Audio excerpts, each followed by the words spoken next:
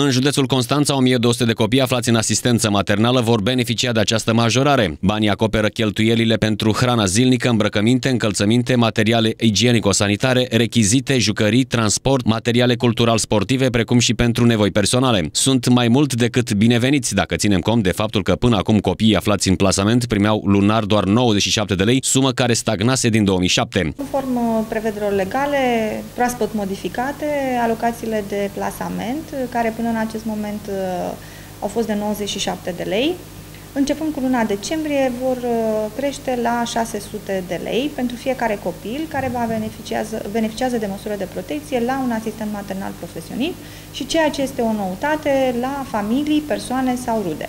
De asemenea, guvernul a aprobat și hotărârea prin care de la 1 decembrie se dublează alocația de hrană zilnică pentru toți copiii care se află în sistemul de protecție specială. Alocațiile se vor mări de la 6 lei pe zi la 12 lei pentru copiii din centrele de zi, respectiv 8,3 lei pe zi la 16,6 lei pentru copiii din centrele rezidențiale. De asemenea, 4277 de copii sunt încredințați asistenților maternali, iar 570 de minori se află în centrele de plasament.